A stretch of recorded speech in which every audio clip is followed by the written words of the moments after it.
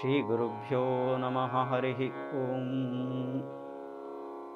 ಧರ್ಮಕ್ಷೇತ್ರೇ ಕುರುಕ್ಷೇತ್ರೇ ಸಮವೇತಾಯುಯೋತ್ಸವ ಮಾಮಕ ಪಾಂಡವಾಶ್ಚೈವ ಕಿಮಕುರ್ವಥ ಸಂಜಯ ಭಗವದ್ಗೀತೆ ಯೋಗಶಾಸ್ತ್ರ ಅಂತ ವೇದವ್ಯಾಸರು ನಿರೂಪಣೆ ಮಾಡಿದ್ದಾರೆ.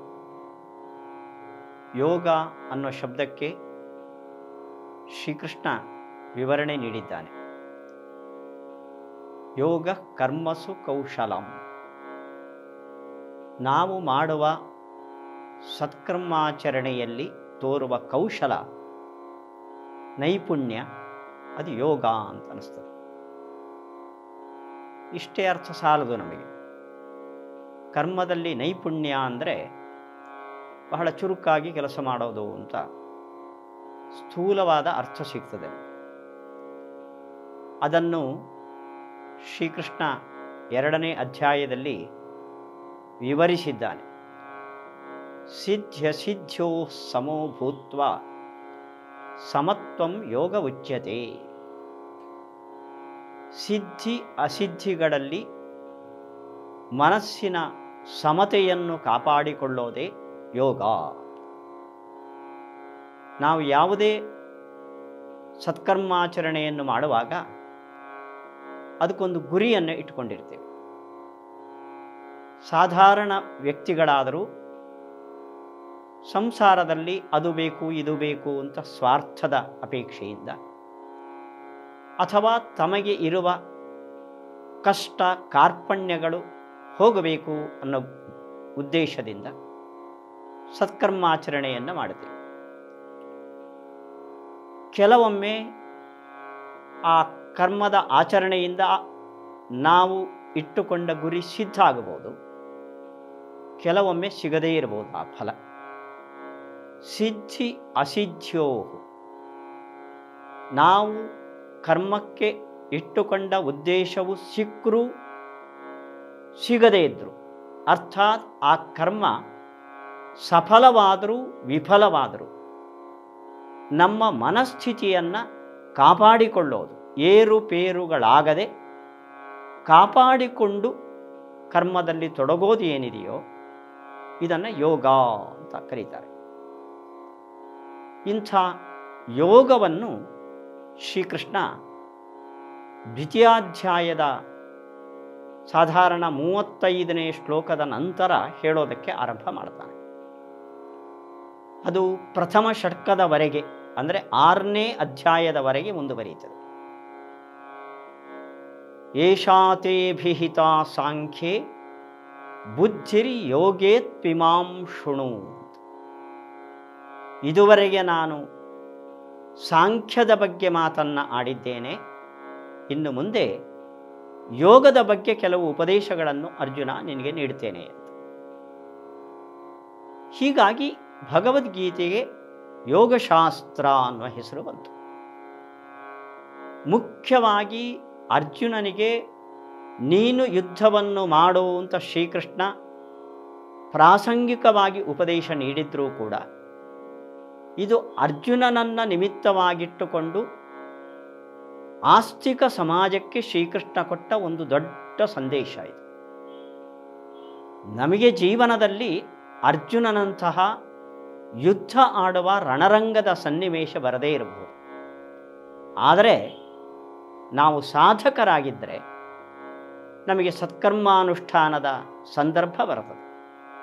ಆವಾಗ ನಮ್ಮ ಮನಸ್ಥಿತಿಯನ್ನು ಹೇಗೆ ಕಾಯ್ದುಕೊಳ್ಳಬೇಕು ಅನ್ನೋದನ್ನು ಶ್ರೀಕೃಷ್ಣ ಮುಖ್ಯವಾಗಿ ಭಗವದ್ಗೀತೆಯ ಪ್ರಥಮ ಷಟ್ಕದಲ್ಲಿ ನಿರೂಪಣೆ ಮಾಡಿದ್ದಾನೆ. ಅದರ ಆರಂಭ ಆಗೋದು ದ್ವಿತೀಯ ಅಧ್ಯಾಯದಿಂದ ಈ ದೃಷ್ಟಿಯಿಂದ ಎರಡನೆಯ ಅಧ್ಯಾಯ ಭಗವದ್ಗೀತೆಯಲ್ಲಿ ಬಹಳ ಪ್ರಮುಖವಾದ ಒಂದು ಘಟ್ಟ. ಸತ್ಕರ್ಮಾಚರಣೆ ಮಾಡುವಾಗ ಶ್ರೀಕೃಷ್ಣನ ಸಿದ್ಧಾಂತ ಸಾಧ್ಯವಾದಷ್ಟು ಐಹಿಕ ಭೋಗ ಭಾಗ್ಯಗಳ ಅಪೇಕ್ಷೆಯನ್ನು ಬಿಡಬೇಕು. ಬಿಟ್ಟಾಗ ಅದು ನಿಷ್ಕಾಮ ಕರ್ಮ ಅಂತ ಅನಿಸ್ತದೆ. ನಿಷ್ಕಾಮ ಕರ್ಮ ಅನ್ನೋ ಶಬ್ದದ ಅರ್ಥ ಯಾವುದೇ ಫಲದ ಅಪೇಕ್ಷೆ ಇಲ್ಲದೆ ಕರ್ಮವನ್ನು ಮಾಡೋದು ಆದರೆ ಈ ರೀತಿಯ ಕರ್ಮಾಚರಣೆ ಅದು ಜಡವಾದ ಒಂದು ಮಿಷನ್. ಅದಕ್ಕೆ ಸಾಧ್ಯ ಹೊರತು ಚೇತನನಾದ ಒಬ್ಬ ಜೀವನಿಗೆ ಮಾಡೋದಕ್ಕೆ ಸಾಧ್ಯ ಇಲ್ಲ. ಫ್ಯಾನ್ ಸ್ವಿಚ್ ಹಾಕಿದರೆ ತಿರುಗುತ್ತೆ. ಅದಕ್ಕೆ ಯಾವ ಅಪೇಕ್ಷೆನೂ ಇಲ್ಲ. ಒಂದು ಗಂಟೆನೋ ಎರಡು ಗಂಟೆನೋ ತಿರುಗದ ಮೇಲೆ ನನಗೆ ಇಷ್ಟು ಕೊಡು ಅಂತ ಕೇಳೋದಿಲ್ಲ ಹಾಗೆ ಯಾವುದೇ ಅಪೇಕ್ಷೆ ಇಲ್ಲದೆ ಕರ್ಮವನ್ನು ಮಾಡೋದು ಜಡ ವಸ್ತುಗಳು. ಚೇತನನಿಗೆ ಅದು ಸಾಧ್ಯವಿಲ್ಲ. ಆದ್ದರಿಂದ ನಿಷ್ಕಾಮ ಕರ್ಮ ಅನ್ನೋ ಶಬ್ದದಲ್ಲಿ ನಿಷ್ಕಾಮ ಅನ್ನೋ ಶಬ್ದವನ್ನು ಸ್ವಲ್ಪ ಸಂಕುಚಿತಗೊಳಿಸಬೇಕು. ಭಗವಂತನ ಪ್ರೀತಿಯನ್ನು ಬಿಟ್ಟು, ಅವನ ಅನುಗ್ರಹವನ್ನು ಬಿಟ್ಟು, ಬೇರೆ ಯಾವುದ ಲೌಕಿಕ ಅಪೇಕ್ಷೆಗಳನ್ನು ಬಯಸದ ಕರ್ಮ. ಬೇರೆ ಯಾವುದೇ ಲೌಕಿಕ ಫಲಗಳನ್ನು ಅಪೇಕ್ಷೆ ಮಾಡಿ ಮಾಡುವ ಕರ್ಮ ಸಕಾಮ ಕರ್ಮ. ಇದನ್ನು ಬಿಟ್ಟು ಮಾಡುವ ಕರ್ಮ ನಿಷ್ಕಾಮ ಕರ್ಮ. ಅಲ್ಲಿಗೆ ಎಷ್ಟೇ ಉತ್ತಮರಾಗಲಿ ಭಾಗವತ ಉತ್ತಮರೇ ಆಗಲಿ ಅವರಿಗೂ ಸತ್ಕರ್ಮ ಆಚರಣೆಯಲ್ಲಿ ಒಂದು ಅಪೇಕ್ಷೆ ಇದೆ. ಅದು ಉಚ್ಚಮಟ್ಟದ ಅಪೇಕ್ಷೆ ಆಗಿರಬಹುದು ಭಗವಂತ ಪ್ರೀತನಾಗಲಿ ಅದರ ನಂತರದ ಸಾಧಕ ವರ್ಗಕ್ಕೆ ಭಗವಂತನ ಅನುಗ್ರಹ ಮೂಲಕ ನಮಗೆ ಮೋಕ್ಷಾದಿ ಪುರುಷಾರ್ಥಗಳು ಸಿದ್ಧವಾಗಲಿ ಅನ್ನೋ ಅಪೇಕ್ಷೆ ಇಟ್ಟುಕೊಂಡು ನಮ್ಮ ಸತ್ಕರ್ಮಗಳನ್ನು ಆಚರಣೆ ಮಾಡಬೇಕು. ಇದು ಗೀತೆಯ ದೊಡ್ಡ ಸಂದೇಶ. ಈ ಸಂದೇಶವನ್ನು ನೀಡಿದ ಶ್ರೀಕೃಷ್ಣ ಅವನನ್ನು ಭಗವದ್ಗೀತೆಯಲ್ಲೇ ವ್ಯಾಸರು ಉಲ್ಲೇಖಿಸಿದ್ದಾರೆ, ಯತ್ರ ಯೋಗೇಶ್ವರ ಕೃಷ್ಣ ಈ ಯೋಗ ಅಂತ ಏನು ಕೃಷ್ಣ ಉಪದೇಶ ಮಾಡಿದಾನೋ ಅರ್ಜುನನಿಗೆ, ಅವನು ಯೋಗೇಶ್ವರ ಯೋಗದ ಒಡೆಯ. ಇದು ಅನ್ವರ್ಥ ಇದು. ಶ್ರೀಕೃಷ್ಣ ದೇವದೇವ, ಈ ಅಖಂಡ ಬ್ರಹ್ಮಾಂಡದ ನಿರ್ಮಾತೃ ಸಂಕಲ್ಪ ಮಾತ್ರದಿಂದ ಅಂಥ ದೊಡ್ಡ ವ್ಯಕ್ತಿ ಮಹಾಭಾರತ ಯುದ್ಧದಲ್ಲಿ ಅರ್ಜುನನ ಸಾರಥಿಯಾಗಿ ಕುದುರೆ ಓಡಿಸುವ ಕೆಲಸವನ್ನು ಕೈಗೊಂಡ. ವಸ್ತುತಸ್ತು ಅವನ ಆ ಅಖಂಡ ಯೋಗ್ಯತೆಗೆ ಇದು ಬಹಳ ಅಲ್ಪವಾದ ಒಂದು ಕರ್ಮ. ಅಂದರೆ ಒಬ್ಬ ದೊಡ್ಡ ವ್ಯಕ್ತಿಯನ್ನು ನಮ್ಮ ಕಾರ್ ಡ್ರೈವ್ ಮಾಡು ಅಂತ ಕೇಳಿದಂತೆ.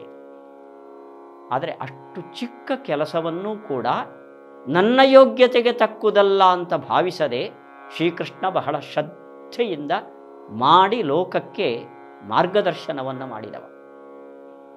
ಮಹಾಭಾರತ ಯುದ್ಧದಲ್ಲಿ, ದ್ರೋಣ ಪರ್ವದಲ್ಲಿ ರಾತ್ರಿ ಹಗಲು ಯುದ್ಧ ನಡೆಯುವಾಗ ಕುದುರೆಗಳಿಗೆ ಗಾಯವಾಗಿ ಬಳಲಿದ್ದನ್ನು ಕಂಡ ಶ್ರೀಕೃಷ್ಣ ಯುದ್ಧವನ್ನು ನಿಲ್ಲಿಸುವಂತೆ ಅರ್ಜುನನಿಗೆ ಆದೇಶ ಕೊಟ್ಟು ಕುದುರೆಯ ಗಾಯಕ್ಕೆ ಮದ್ದು ಹಚ್ಚಿ ಮೈ ತೊಳೆದು ಅದಕ್ಕೆ ಆಹಾರವನ್ನು ಉಣಿಸಿ ಆಮೇಲೆ ಯುದ್ಧವನ್ನು ಆರಂಭ ಮಾಡಿದ ಅಂತ ಈ ಕೃಷ್ಣ ಕುದುರೆಗಳ ಈ ಸೇವೆಯನ್ನು ಮಾಡೋದನ್ನು ನೋಡಿ ಉಭಯ ಸೇನೆಯ ಸೈನಿಕರು ಅವಾಕ್ಕಾದರು ಅಂತ ಮಹಾಭಾರತದಲ್ಲಿ ಉಲ್ಲೇಖ ಇದೆ.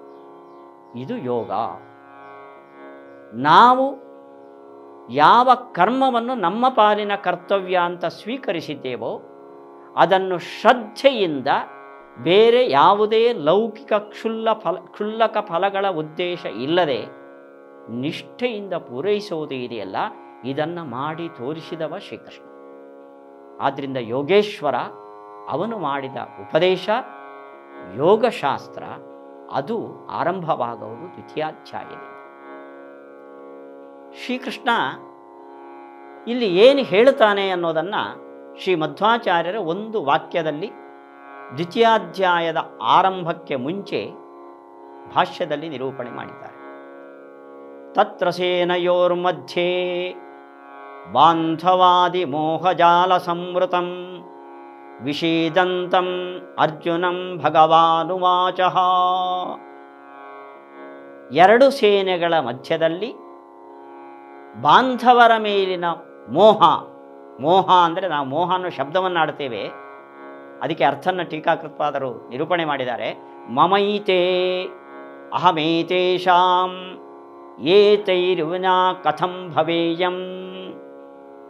ಇವರು ನನ್ನವರು, ನಾನು ಅವರ ಸಂಬಂಧಿ, ಇವರನ್ನು ಬಿಟ್ಟು ನಾನು ಹೇಗಿರಲಿ ಈ ತಾದಾತ್ಮ್ಯ ಭಾವ ಏನಿದೆಯೋ ಇದನ್ನು ಮೋಹ ಅಂತ ಕರೀತಾರೆ. ಬಾಂಧವಾದಿ ಮೋಹ ಜಾಲ ಸಂವೃತಂ ಈ ಮಾ, ಬಾಂಧವರ ಮೇಲಿನ ಮೋಹವೇ ಒಂದು ಬಲೆ. ಆ ಬಲೆಯಲ್ಲಿ ಸಿಕ್ಕಿ ಹಾಕಿಕೊಂಡ ಅರ್ಜುನ, ವಿಷೀದಂತಂ. ಇದರಿಂದ ಆದ ದುಃಖದಿಂದ ನಿಶ್ಚೇಷ್ಟಿತನಾಗಿ ಕುಳಿತಿ ಕುಳಿತಾಗ ಭಗವಾನ್ ವಾಚ. ಶ್ರೀಕೃಷ್ಣ ಉಪದೇಶವನ್ನು ಆರಂಭ ಮಾಡಿದ. ವಸ್ತುತಃ ಭಗವದ್ಗೀತೆಯ ಶ್ರೀಕೃಷ್ಣನ ಉಪದೇಶ ಆರಂಭ ಆಗೋದು ಅಶೋಚ್ಯಾನನ್ವಶೋಚಸ್ತ್ವಂ. ಸುಮಾರು ಎಂಟತ್ತು ಶ್ಲೋಕಗಳ ನಂತರ. ಆರಂಭದಲ್ಲಿ ಉಪದೇಶ ಅಲ್ಲ. ಅರ್ಜುನನಿಗೆ ಒಂದು ಮಾತಿನಿಂದ ಹೊಡೆದ. ಕೃಷ್ಣ. ಪ್ರಥಮಾಧ್ಯಾಯದಲ್ಲಿ ಶ್ರೀಕೃಷ್ಣನ ಮಾತು ಒಂದೇ ಒಂದು ಅರ್ಧ ಶ್ಲೋಕ. ಸಮವೇತಾನ್ ಕುರಿ ಕುರುನಿತಿ ಆಮೇಲೆ ಅರ್ಜುನನೇ ಮಾತಾಡಿದ್ದು. ಬಹಳ ಉಪದೇಶ ಮಾಡಿದ ಕೃಷ್ಣನ ಮುಂದೆ. ಯುದ್ಧ, ಅಧರ್ಮ, ಸಾಂಕರ್ಯ ಉಂಟಾಗತ್ತೆ. ನಾವು ಬಂಧುಗಳನ್ನು ಕೊಂದು ಪಾಪಿಗಳಾಗ್ತೇವೆ, ನರಕಕ್ಕೆ ಬೀಳ್ತೇವೆ ಮಾತಾಡಿಲ್ಲ ಶ್ರೀಕೃಷ್ಣ. ಅವನ್ನೆಲ್ಲ ಹೇಳಿ ಅರ್ಜುನ ಹಠತೊಟ್ಟು, ನಯೋಸ್ಯ ಇತಿ ಗೋವಿಂದಂ ಉಕ್ವಾ ತೂಷ್ಣೀಂ ಬಭೂವ. ಕೈ ಕಟ್ಟಿ ಮದುಮಗನಂತೆ ರಥದ ಮಧ್ಯದಲ್ಲಿ ಕೂತ ಅವನು ಯೋಧನಾಗಿದ್ದರೆ ರಥದ ಮುಂದೆ ಎದ್ದು ನಿಲ್ಲಬೇಕು. ನಿಲ್ಲುವ ಬದಲು ರಥೋಪಸ್ಥೆ ರಥದ ಮಧ್ಯದಲ್ಲಿ ಕೂತ ಅರ್ಜುನ. ಎಷ್ಟುವರೆಗೆ ಹಠ ಇತ್ತು ಅಂದರೆ ಘ್ನತೋಪಿ ಮಧುಸೂದನ. ನಾನು ಶತ್ರು ಪರವಾಗಿಲ್ಲ, ಶತ್ರುಗಳ ನನ್ನ ಮೇಲೆ ಆಕ್ರಮಣ ಮಾಡಲಿ, ಸಾಯ್ತೇನೆ, ಯುದ್ಧ ಆಡೋದಿಲ್ಲ. ಹೀಗೆ ಹಠ ತೊಟ್ಟ ಒಬ್ಬ ವ್ಯಕ್ತಿಗೆ ಕೃಷ್ಣ ಉಪದೇಶ ಮಾಡಿದರೆ, ಈ ಕಿವಿಯಲ್ಲಿ ಬರುತ್ತದೆ, ಆ ಕಿವಿಯಲ್ಲಿ ಹೋಗ್ತದೆ, ನಾವು ಉಪನ್ಯಾಸ ಕೇಳಿದಂತೆ. ಅದಕ್ಕೋಸ್ಕರ ಪೂರ್ವರಂಗವನ್ನು ತಯಾರು ಮಾಡುವ ದೃಷ್ಟಿಯಿಂದ ಅರ್ಜುನನನ್ನು ಸ್ವಲ್ಪ ಮೃದುಗೊಳಿಸ್ತಾನೆ. ಅದಕ್ಕೋಸ್ಕರ ಒಂದು ಮಾತನ್ನು ದ್ವಿತೀಯಾಧ್ಯಾಯದ ಆರಂಭದಲ್ಲಿ ಆಡಿದ್ದಾನೆ ಶ್ರೀಕೃಷ್ಣ. ಬಹಳ ಮಹತ್ವಪೂರ್ಣವಾದದ್ದು. ಕ್ಲೈಬ್ಯಂ ವಾಸ್ಮಗಮ ಪಾರ್ಥ ನೈತತ್ವಯ್ಯುಪಪದ್ಯತೆ ಕ್ಷುದ್ರಂ ಹೃದಯ ದೌರ್ಬಲ್ಯಂ ತ್ಯಕ್ತೋತ್ತಿಷ್ಠ ಪರಂತಪ ಎಂಥ ಸಂದೇಶ ಇದು.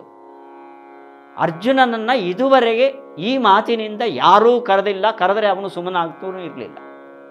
ಕ್ಲೈಬ್ಯಂ ಮಾಸ್ಮ ಗಮಃ ಪಾರ್ಥ ಕ್ಲೀಬ ಅನ್ನೋ ಶಬ್ದಕ್ಕೆ ಸಂಸ್ಕೃತದಲ್ಲಿ ನಪುಂಸಕ ಅಂತ ಅರ್ಥ.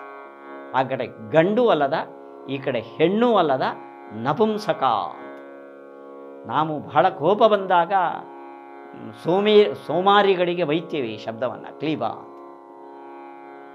ಈ ಮಾತನ್ನು ವೀರಾಧಿವೀರನಾದ ಬಿಲ್ಲೋಜನಾದ ಅರ್ಜುನನಿಗೆ ಶ್ರೀಕೃಷ್ಣ ಹೇಳಿದ್ದು ಹೊರತು ಇನ್ಯಾರೂ ಈ ಮಾತನ್ನು ಆಡಿಲ್ಲ. ಆಡಿದರೆ ಸಹಿಸಿಕೊಳ್ತಿರ್ಲಿಲ್ಲ ಅರ್ಜುನ. ಇದಾದ ಕೂಡಲೇ ಆ ಗ್ಲಾನಿಯಲ್ಲಿ ಮುಳುಗಿದ್ದ ಅರ್ಜುನನ ಮೈಯಲ್ಲಿ ಒಂದು ವಿದ್ಯುತ್ ಸಂಚಾರ ಆಯಿತು. ವಿದ್ಯುತ್ ಸಂಚಾರ ಆಗಿ ಅವನು ಪ್ರಥಮಾಧ್ಯಾಯದಲ್ಲಿ ತನ್ನ ದೌರ್ಬಲ್ಯವನ್ನು ಮುಚ್ಚಿಟ್ಟುಕೊಂಡು ಪಾಪ ಪುಣ್ಯದ ಬಗ್ಗೆ ಧರ್ಮಶಾಸ್ತ್ರವನ್ನು ಕೃಷ್ಣನ ಬಂದೇ ನಿರೂಪಣೆ ಮಾಡಿದ. ಅದಕ್ಕೋಸ್ಕರ ಕೃಷ್ಣನಿಗೆ ನಗು ಬಂತು ಇಲ್ಲಿ ನೈಜ ಕಾರಣವನ್ನು ಹೊರಹಾಕಿದವನು ಕಥಂ ಭೀಷ್ಮಮಹಂ ಸಂಖ್ಯೆ ದ್ರೋಣಂಚ ಮಧುಸೂದನ ಕೃಷ್ಣ ನನ್ನ ಮುಂದೆ ನಿಂತಿದ್ದವರು ಕೇವಲ ಯಾರೋ ಶತ್ರುಗಳಲ್ಲ ಮೂರನೆಯವರಲ್ಲ ಭೀಷ್ಮರು ಕುರುಕುಲದ ಪಿತಾಮಹರು. ದ್ರೋಣ ನನ್ನ ಈ ಪುಟ್ಟ ಕೈಗಳಿಂದ ಶಸ್ತ್ರವಿದ್ಯಾಭ್ಯಾಸವನ್ನು ಮಾಡಿಸಿದ ಗುರುಗಳು. ಇಶುಭಿ ಪ್ರತಿಯೋಸ್ಯಾಮಿ ಇವರನ್ನು ಹೇಗೆ ನಾನು ಬಾಣ ಬಿಟ್ಟು ಘಾಸಿಗೊಳಿಸಲಿ ಕೃಷ್ಣ? ಕಾರ್ಪಣ್ಯ ದೋಷೋಪಹತ ಸ್ವಭಾವ ಇಲ್ಲಿ ಕಾರಣವನ್ನು ಹೇಳಿದ. ನಾನು ಬಂಧುಗಳ ಮೇಲಿನ ಕೃಪೆಯಿಂದ ನನ್ನ ನೈಜ ಸ್ವಭಾವ ಅಂದರೆ ಕೆಚ್ಚೆದೆ. ಅದು ಅಡಗಿದೆ ಕೃಷ್ಣ. ಹಾಗಾದರೆ ಅರ್ಜುನ ಯುದ್ಧ ಬೇಡ ಅಂತ ಪಾಪ ಬರ್ತದೆ, ಸಮಾಜ ಹಾಳಾಗ್ತದೆ, ಸಾಂಕರ್ಯ ಉಂಟಾಗ್ತದೆ, ಧರ್ಮ ಹಾಳಾಗತ್ತೆ ಅಂತ ಏನು ಕಾರಣ ಹೇಳಿದ್ನೋ, ಅದು ಯಾವುದೂ ಅಲ್ಲ, ಅದು ಮುಖವಾಡ. ಅವನಿಗೆ ಕಾರ್ಪಣ್ಯ ದೋಷ. ಅಂದರೆ ಕೃಪೆ.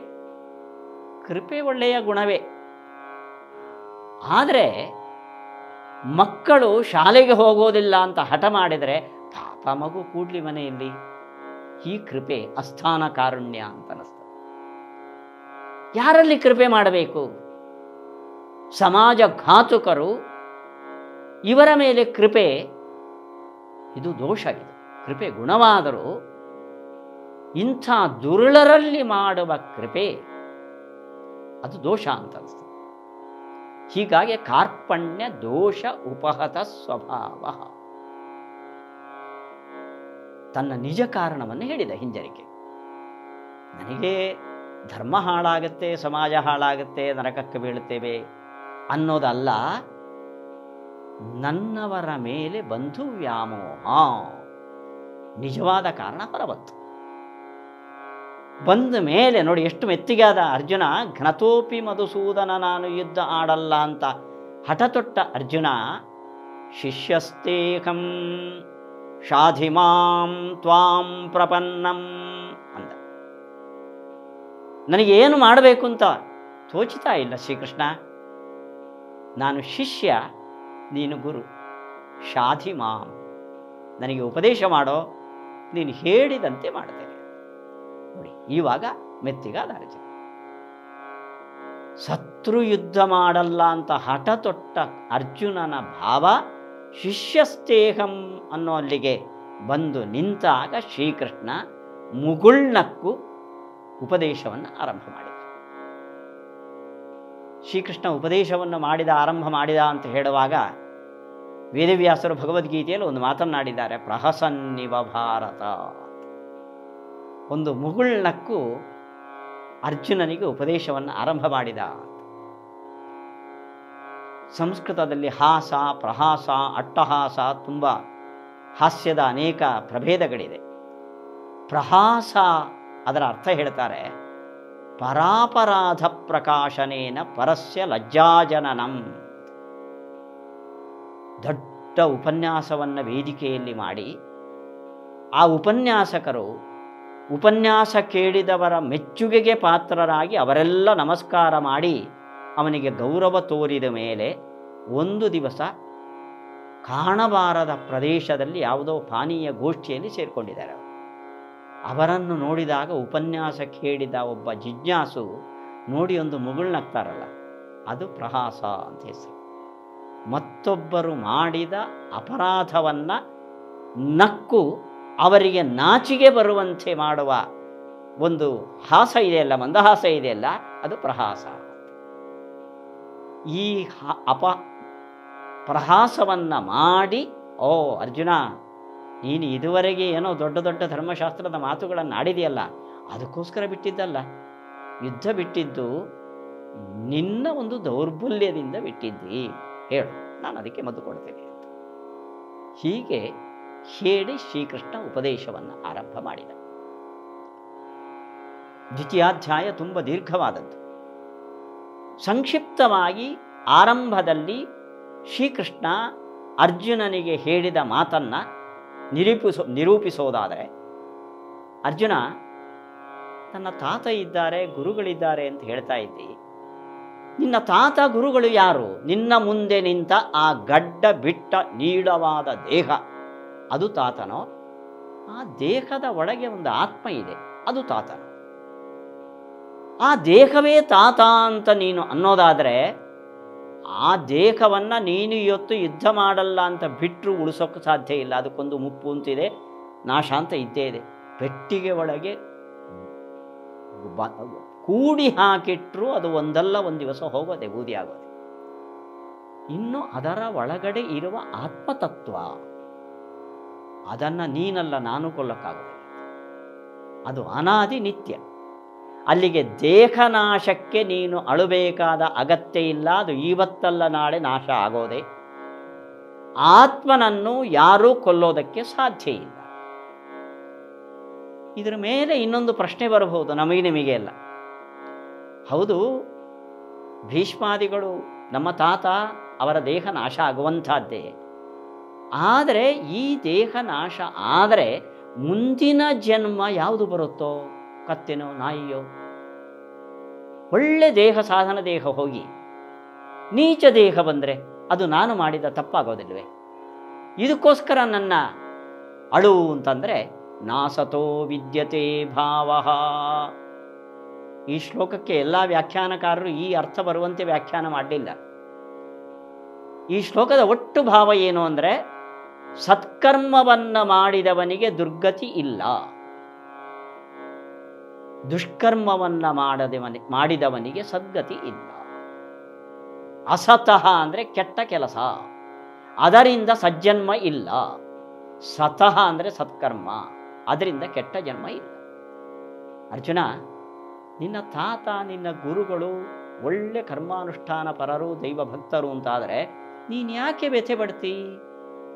ಅವರಿಗೆ ಇದಕ್ಕಿಂತ ನೀಚ ಜನ್ಮ ಬರೋದಿಲ್ಲ ಇನ್ನು ಅವರ ಜೊತೆಯಲ್ಲಿದ್ದ ಯೋಧರು, ದುರ್ಯೋಧನಾದಿಗಳು ಅವರಿಗೆ ಕೆಟ್ಟ ಜನ್ಮ ಬರ್ತದೆ ಎಂದು ಬರಲಿ ಬಿಡು.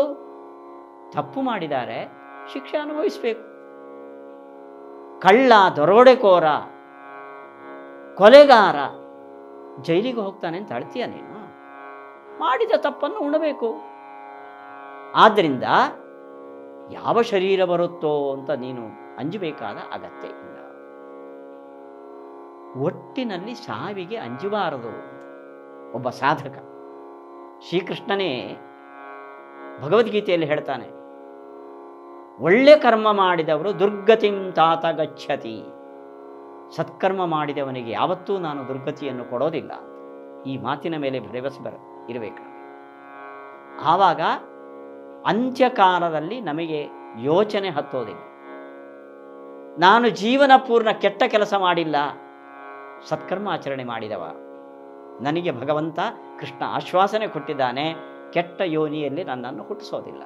ಅಂದಮೇಲೆ ಇದಕ್ಕಿಂತ ಒಳ್ಳೆ ಶರೀರ ಬರೋದಾದರೆ ನಾನು ಈ ದೇಹತ್ಯಾಗಕ್ಕೆ ಯಾಕೆ ಅಳಬೇಕು ಬಿಡಬೇಕು ಜೀರ್ಣವಾದ ದೇಹ ಹೋಗಿ ವಾಸಾಂಸಿ ಜೀರ್ಣಾನಿ ಯಥಾವಿಹ. ಅಂದ ಒಳ್ಳೆ ಸತ್ಕರ್ಮಾಚರಣೆಯಲ್ಲಿ ಇದ್ದ ವ್ಯಕ್ತಿ ಮತ್ತೊಬ್ಬರಿಗೆ ದ್ರೋಹ ಬಗೆಯದೇ ಇದ್ದರೆ ಅಂತ್ಯಕಾಲಕ್ಕೆ ಅಂಜಬೇಕಾದ ಅಗತ್ಯ ಇಲ್ಲ. ಇದು ಶ್ರೀಕೃಷ್ಣ ಭಗವದ್ಗೀತೆಯಲ್ಲಿ ಕೊಟ್ಟ ದೊಡ್ಡ ಭರವಸೆ ಆರಂಭದ ಈ ಭಾಗದ ಇದರ ನಂತರ ನಮಗೆ ನಿಮಗೆಲ್ಲ ಇದು ಅರ್ಜುನನಿಗೂ ಗೊತ್ತು. ಆತ್ಮ ನಿತ್ಯ, ದೇಹ ಅನಿತ್ಯ, ಹೋದರೆ ಇನ್ನೊಂದು ಬರುತ್ತೆ ಅಂತ. ಇದನ್ನು ಅರ್ಜುನನಂತಹ ದೇವೇಶ ಅವತ ಇಂದ್ರ ಅವನಿಗೆ ಹೇಳಬೇಕಾದ ಅಗತ್ಯ ಇಲ್ಲ. ಇದನ್ನು ನಮಗೋಸ್ಕರ ಹೇಳಿದ್ದ. ಇನ್ನು ನಿಜವಾಗಿ ಒಬ್ಬ ವ್ಯಕ್ತಿ ನಮ್ಮನ್ನು ಅಗಲುವ ಸಂದರ್ಭದಲ್ಲಿ ನಾವು ವ್ಯಥೆ ಪಡೋದು ಯಾಕೆ ಅಂದರೆ ಅವನ ಜೊತೆ ಇದುವರೆಗೆ ನಾವು ತಂದೆಯೋ, ತಾಯಿಯೋ, ತಾತನೋ, ಮಕ್ಕಳೋ ಅಂತ ಬಾಂಧವ್ಯದಲ್ಲಿತ್ತು ನಮ್ಮವನು ಅಂತ ಒಂದು ಭಾವ ಅವನಲ್ಲಿತ್ತು. ಅವನ ಜೊತೆಯಿಂದ ನಮಗೆ ಸುಖ ಸಿಗ್ತಾ ಇತ್ತು. ಒಂದು ಸಂತೋಷ ಇತ್ತು. ತುಂಬಿದ ಸಂಸಾರ ನಗನಗ್ತಾ ಇದ್ದೇನೆ ಅವನು ಈ ದೇಹವನ್ನು ಬಿಟ್ಟರೆ ನನಗೆ ಸಿಗೋದಿಲ್ಲ ಅವನು. ಅವನಿಗೆ ಇನ್ನೊಂದು ದೇಹ ಸಿಗಬಹುದು. ಎಲ್ಲೋ ಹುಡ್ತಾನೆ ನಮಗೂ ಅವನಿಗೂ ಇರುವ ಒಂದು ಸಂಪರ್ಕ ಬಾಂಧವ್ಯ ಬಿಟ್ಟೋಯ್ತಲ್ಲ. ಕೃಷ್ಣ, ಭೀಷ್ಮಾದಿಗಳು, ದ್ರೋಣಾಚಾರ್ಯರು ಈ ದೇಹವನ್ನು ತ್ಯಾಗ ಮಾಡಿದರೆ, ನಾನು ನಾಡದ ಯುದ್ಧವನ್ನು ಗೆದ್ದು ಅರಸನಾದರೆ, ಇಂಥ ವ್ಯಕ್ತಿಗಳ ಜೊತೆ ಕೂಡಿ ಬಾಳುವ ಒಂದು ಭಾಗ್ಯ ಅದು ನನಗಿಲ್ಲ ಅಂತಾಗುತ್ತೆ. ಇದಕ್ಕೋಸ್ಕರ ನನ್ನ ಹಿಂಜರಿಕೆ. ನಿಜವಾಗಿ ನಾವು ಸಾವಿಗೆ ಈ ಕಾರಣದಿಂದ ವ್ಯಥೆ ಪಡ್ತೇವೆ. ಇದಕ್ಕೆ ಭಗವದ್ಗೀತೆಯಲ್ಲಿ ಉಳಿದ ವ್ಯಾಖ್ಯಾನಕಾರರ ಪ್ರಕಾರ ಉತ್ತರ ಇಲ್ಲ. ಬಹಳ ಮುಖ್ಯವಾದ ದ್ವಿತೀಯಾಧ್ಯಾಯದಲ್ಲಿ ಬರುವ ಶ್ಲೋಕ. ಭಗವದ್ಗೀತೆಯ ಶ್ಲೋಕಗಳೆಲ್ಲ ಬಹಳ ಸುಲಭವಾದದ್ದು. ಸಾಮಾನ್ಯ ಸಂಸ್ಕೃತ ಜ್ಞಾನ ಇದ್ದರೆ ಅರ್ಥ ಆಗುತ್ತೆ. ಆದರೆ ಇಲ್ಲಿ ಒಂದೆರಡು ಕ್ಲಿಷ್ಟಕರವಾದ ಶಬ್ದಗಳು ಸೇರಿಕೊಂಡಿದೆ. ಅಭಿಪ್ರಾಯ ಗೂಢವಾಗಿದೆ ಕೃಷ್ಣ ಆದ್ದರಿಂದ ಎಲ್ಲರೂ ಈ ಶ್ಲೋಕಕ್ಕೆ ಈ ಅರ್ಥವನ್ನು ಮಾಡಲಿಲ್ಲ. ಈ ಸಮಸ್ಯೆಗೆ ಉತ್ತರ. ಅರ್ಜುನನದು ಬಂಧುಗಳನ್ನು ಕೊಲ್ಲೋದು ಹೇಗೆ ಅವರ ಸಂಪರ್ಕ ಹೋಗ್ತದೆ ಅಂತ. ನಮಗೆ ಈ ಪ್ರಪಂಚವನ್ನು ಗೆಲ್ಲೋದು ಹೇಗೆ ಅಂತ ಸಮಸ್ಯೆ. ಪ್ರಪಂಚದಲ್ಲಿ ದುಃಖ ಇಲ್ಲದೆ ನಗನಗುತ್ತಾ ನಾನು ಬಾಳಬೇಕು. ವ್ಯಥೆ ಆಗಬಾರದು. ಅದಕ್ಕೆ ಶ್ರೀಕೃಷ್ಣ ಕೊಟ್ಟ ದೊಡ್ಡ ಒಂದು ಪ್ರಮೇಯ, ತತ್ವ ಈ ಶ್ಲೋಕದಲ್ಲಿ ಅಡಗಿದೆ. ಮಾತ್ರ ಸ್ಪರ್ಶಾಸ್ತು ಕೌಂತೇಯ ಶೀತೋಷ್ಣ ಸುಖ ದುಃಖದಾಹ ಆಗಮಾಪಾಯಿನೋ ನಿತ್ಯಾಹ ತಾನ್ ತಿತಿಕ್ಷಸ್ವ ಭಾರತ. ಇದರ ಶಬ್ದ ಅರ್ಥ ನಾನು ಹೇಳೋದಿಲ್ಲ. ಇಲ್ಲಿ ಮಾತ್ರ ಅಂತ ಒಂದು ಶಬ್ದ ಬಂದಿದೆ ಇದು ನಮಗೆ ಪ್ರಸಿದ್ಧ ಇವತ್ತು. ಮಾತ್ರ ಅಂದರೆ ಅಂಗಡಿಯಲ್ಲಿ ಸಿಗುವಂಥ ಪಿಲ್ಸು. ಅದಲ್ಲ. ಮೀಯಂತೆ ಏಭಿರಿತಿ ಮಾತ್ರ ನಮ್ಮ ದೇಹದಲ್ಲಿರುವ ಪಂಚ ಜ್ಞಾನೇಂದ್ರಿಯಗಳು ಅಂತ ಅರ್ಥ. ಕಣ್ಣು, ಕಿವಿ, ಮೂಗು. ಈ ಜ್ಞಾನೇಂದ್ರಿಯಗಳಿಗೆ ಸ್ಪರ್ಶ ಅಂದರೆ ಅವಕ್ಕೆ ಸಂಬಂಧಪಟ್ಟ ವಸ್ತುಗಳ ಜೊತೆ ಸಂಪರ್ಕ. ಕಣ್ಣು ಒಂದು ಸುಂದರವಾದ ದೃಶ್ಯವನ್ನು ನೋಡಿತು ಆ ದೃಶ್ಯದ ಜ್ಞಾನ ನಮಗೆ ಬಂತು. ಅದು ಸುಂದರವಾದ್ದರಿಂದ ಖುಷಿಯಾಯಿತು. ಒಂದು ಅದೇ ಕಣ್ಣು ಒಂದು ಕೆಟ್ಟ ದೃಶ್ಯವನ್ನು ನೋಡಿತು, ವ್ಯಥೆಯಾಯಿತು. ಹಾಗಾದರೆ ಸುಖ ದುಃಖಗಳಿಗೆ ನಮ್ಮ ಇಂದ್ರಿಯಗಳು, ಕಣ್ಣು, ಕಿವಿ, ಮೂಗುಗಳು ಬೇಕಾದ, ಬೇಡವಾದ ವಸ್ತುಗಳ ಜೊತೆ ಸಂಪರ್ಕವನ್ನು ಪಡೆಯೋದು ಮುಖ್ಯ. ಇದು ಸುಖ ದುಃಖಗಳಿಗೆ ಕಾರಣ, ಮೂಲ ಕಾರಣ. ಇದನ್ನು ಎಲ್ಲರೂ ಅರ್ಥ ಹೇಳಿದ್ದಾರೆ. ಗೀತೆಯಲ್ಲೂ ಇಷ್ಟೇ ಹೇಳಿದಂಗೆ ಕಾಣುತ್ತೆ. ಇಷ್ಟೇ ಹೇಳಿದರೆ ಗೀತೆ ಬೇಕಾಗಿಲ್ಲ. ಯಾವ ಉಪದೇಶನೂ ಕೊಟ್ಟಿಲ್ಲ ಇಲ್ಲಿ ಮಧ್ವಾಚಾರ್ಯ ಏನು ಮಾಡಿದ್ದಾರೆ ಅಂದರೆ, ತೂ ಅನ್ನೋ ಶಬ್ದ ಕಾಕುಸ್ವರದಲ್ಲಿ ಹೇಳ್ರಿ ಅಂತ ಹೇಳಿದ್ದಾರೆ. ಅಲ್ಲಿಗೆ ನೋಡಿ, ಈ ತೂ ಬಿಡ್ರಿ. ಇಂದ್ರಿಯಕ್ಕೆ ವಿಷಯಗಳ ಜೊತೆ ಸಂಬಂಧವಾದರೆ ಆತ್ಮನಿಗೆ ಸುಖ ದುಃಖಗಳು ಉಂಟಾಗ್ತವೆ. ಇದು ಒಂದು ಸ್ಟೇಟ್ಮೆಂಟ್ ಅಷ್ಟೇ. ನಮಗೆ ನಿಮ್ಗೆ ಗೊತ್ತಿದೆ ನಮಗೆ. ಇದನ್ನೇ ನಾನು ಹೇಳ್ತೇನೆ ನೋಡಿ, ಆ ತು ಶಬ್ದದ ಕಾಕಸ್ವರ ಸೇರಿಸ್ಕೊಂಡು. ಇಂದ್ರಿಯಗಳಿಗೆ ವಿಷಯ ಸಂಪರ್ಕವಾದಾಗ ಅಷ್ಟರಿಂದಲೇ ಆತ್ಮನಿಗೆ ಸುಖ ದುಃಖಗಳು ಉಂಟಾಗ್ತವೆ. ಅಂದರೆ ಇಲ್ಲ ಅಂತ ಇದು ತತ್ವ, ಗೀತೆ ಆಗ್ತವೆ ಅನ್ನೋದು ನಮಗೆ ಗೊತ್ತಿರೋ ವಿಷಯ. ಅಷ್ಟರಿಂದಲೇ ಸುಖಗಳು, ದುಃಖಗಳು ಉಂಟಾಗ್ತವೆ. ಅಂದರೆ ಆಗಲ್ಲ ಅಷ್ಟರಿಂದಲೇ ಆಗೋದಿಲ್ಲ. ನೋಡಿ ನಮಗೆ ಎಚ್ಚರದಲ್ಲಿ, ಯಾವುದೇ ಗಂಭೀರವಾದ ಕೆಲಸದಲ್ಲಿ ನಾವು ತೊಡಗಿದ್ರೂ, ಮೈಗೆ ಒಂದು ಸೊಳ್ಳೆ ಕಚ್ಚಿದ್ರೂ ನೋವಾಗತ್ತೆ. ಅದೇ ಎರಡು ದಿನ ನಿದ್ದೆ ಬಿಟ್ಟು ನಾವು ರಾತ್ರಿ ಮಲ್ಕೊಂಡ್ರೆ ಹತ್ತಾರು ಸೊಳ್ಳೆಗಳು ನನ್ನ ಮೈ ಮೇಲೆ ದಾಳಿ ಮಾಡಿವೆ. ಬೆಳಿಗ್ಗೆ ಎದ್ದ ಮೇಲೆ ಒಂದೊಂದು ಇಷ್ಟಿಷ್ಟು ದಪ್ಪಾಗಿದೆ ನಮ್ಮ ದೇಹದ ರಕ್ತವನ್ನು ಕುಡಿದು. ಇಷ್ಟೊಂದು ಸೊಳ್ಳೆ ಇತ್ತ?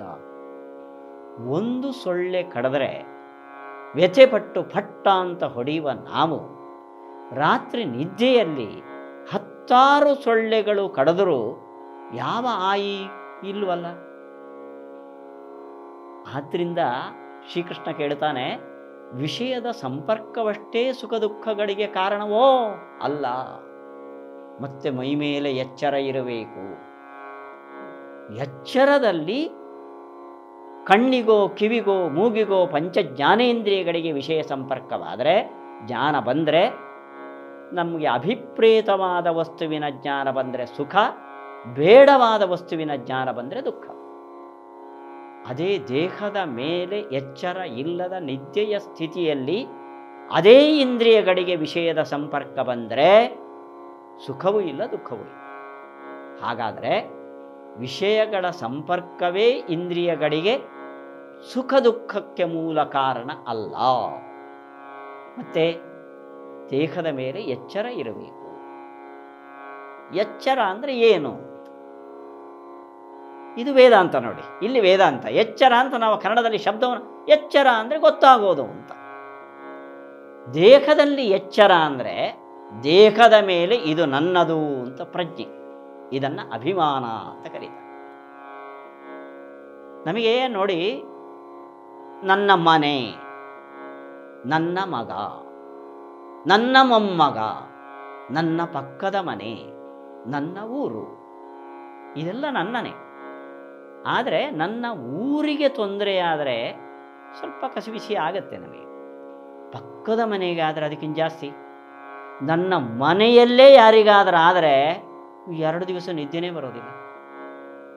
ನಮ್ಮ ದೇಹಕ್ಕೆ ಕಾಯಿಲೆ ಬಂದರೆ ರಾತ್ರಿಯೆಲ್ಲ ನಿದ್ದೆ ಕೆಡ್ತೀವಿ ನೋಡಿ, ಇದೆಯಾ ನನ್ನ ನನ್ನ ಅನ್ನೋ ಭಾವ ಆ ಕಡೆಯಿಂದ ಈ ಕಡೆ ಬರ್ತಾ ಬರ್ತಾ ಬರ್ತಾ ಬರ್ತಾ ಅದರ ಒತ್ತು ಜಾಸ್ತಿ ಆಗುತ್ತೆ. ಇದನ್ನು ಅಭಿಮಾನ ಅಂತ ಶಾಸ್ತ್ರದಲ್ಲಿ ಕರೆದಿದ್ದಾರೆ. ಯಾ, ನಮಗೆ ಯಾವ ವಸ್ತುವಿನಲ್ಲಿ ಅಭಿಮಾನ ಅತಿರೇಕ ಇರ್ತದೋ ಆ ವಸ್ತುವಿಗೆ ಹೆಚ್ಚು ಕಡಿಮೆ ಆದರೆ ನಮಗೆ ಸುಖವೋ, ದುಃಖವೋ ಬರ್ತದೆ ಹಾಗಾದರೆ ಸುಖ, ದುಃಖಗಳಿಗೆ ಕಾರಣ ಏನು ಅಂದರೆ ನೋಡಿ ಅತ್ಯಂತ ಹೆಚ್ಚಿನ ಅಭಿಮಾನ ನಮಗೆ ನಮ್ಮ ದೇಹದಲ್ಲಿ. ಆತ್ಮನಸ್ತು ಕಾಮಾಯ ಸರ್ವಂ ಪ್ರಿಯಂ ಭವತಿ. ನನಗೆ ನನಗೆ ಮೊಮ್ಮಗನೋ ಮಗನೋ ತುಂಬ ಇಷ್ಟ ಅಂದರೆ ಸುಳ್ಳು ಹೇಳ್ತೀರಿ ನಿಮಗೆ ನಿಮಗೆ ತುಂಬ ಇಷ್ಟ, ನಿಮ್ಮ ದೇಹವೇ ನಿಮಗೇ ನೀವು ತುಂಬ ಇಷ್ಟ ರೀ ಅಷ್ಟು ಇಷ್ಟವಾದ್ದು ಮತ್ತೊಂದಿಲ್ಲ. ಒಂದು ವೇಳೆ ಮಗನನ್ನು ಬಿಡಬೇಕು, ನೀವು ದೇಹತ್ಯಾಗ ಮಾಡಬೇಕು ಅನ್ನೋ ಸಂದರ್ಭ ಬಂದಾಗ ಯೋಚನೆ ಮಾಡಿ, ನೀವು ದೇಹ ಬಿಡ್ತೀರೋ, ಮಗನನ್ನು ಬಲಿ ಕೊಡ್ತೀರೋ ಹಾಗೆ ಹತ್ತಿರ ಹತ್ತಿರ ಆಗ್ತಿದ್ದಂತೆ ಆ ಅಭಿಮಾನದ ಒತ್ತು ಜಾಸ್ತಿ ಇರ್ತದೆ. ಪ್ರಪಂಚದಲ್ಲಿ ದುಃಖ ಬರಬಾರದು ಅಂದರೆ ಏನು ಮಾಡಬೇಕು? ಅಭಿಮಾನ ಬಿಡಲಿಕ್ಕೆ ನಮ್ಮ ಕಡೆಯಿಂದ ಸಾಧ್ಯ ಇಲ್ಲ. ಇದು ನನ್ನ ದೇಹ ಅಲ್ಲ ಅಂತ ಮತ್ತೊಬ್ಬರು ಹೊಡೆದ್ರು, ಆ ಇಂತ ಅನ್ನದೇ ಕಣ್ಣಲ್ಲಿ ನೀರು ಇಳಿಸದೇ ಇರೋ ಸ್ಥಿತಿ ನಮಗೆ ಬರೋದಿಲ್ಲ. ಯೋಗಿಗಳಿಗೆ ಆ ಸ್ಥಿತಿ ಸಾಧ್ಯ. ಆದರೆ ಆಚಾರ್ಯರು ಅಂತಾರೆ, ಸಾಧ್ಯವಾದಷ್ಟು ಪ್ರಪಂಚದಲ್ಲಿ ನನ್ನ ಅನ್ನೋ ವಸ್ತುಗಳ ಸಂಪರ್ಕವನ್ನು ಕಡಿಮೆ ಮಾಡಿಕೋ.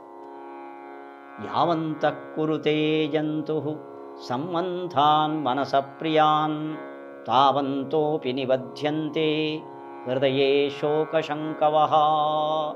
ನನದು ನನದು ಅಂತ ನಿಮ್ಮ ಮನೆಯನ್ನು ಎಷ್ಟು ತುಂಬಿಸಿಕೊಳ್ತೀರೋ ಅಷ್ಟಷ್ಟು ಸುಖವಾಗಿದ್ದೇನೆ ನಾನು ಅಂತ ನೀವು ಅನ್ಕೊಳ್ತೀರಿ.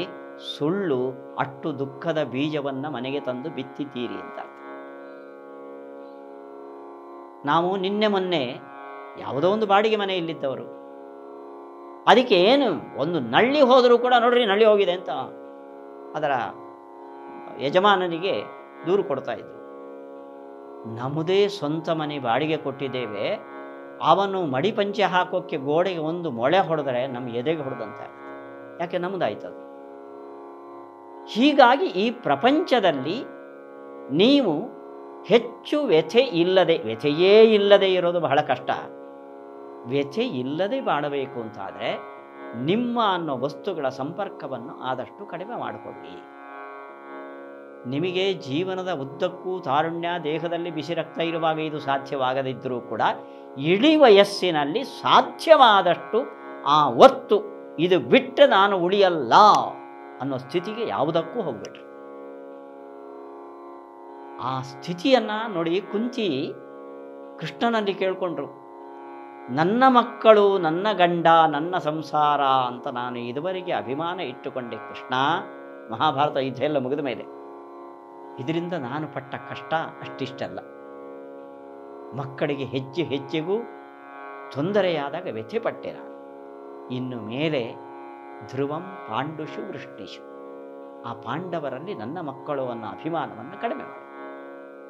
ಆ ಜಾಗದಲ್ಲಿ ಕೃಷ್ಣ ನೀನು ಕೂಡು. ನನ್ನ ಮಕ್ಕಳು ಅಲ್ಲ, ನನ್ನ ದೇವರು. ಇದು ಇಳಿ ವಯಸ್ಸಿನಲ್ಲಿ ನಾವು ತಾಳಬೇಕಾದ ಭಾವ. ಇಲ್ಲಿ ಕೃಷ್ಣ ಅರ್ಜುನನಿಗೆ ಏನು ಹೇಳದ?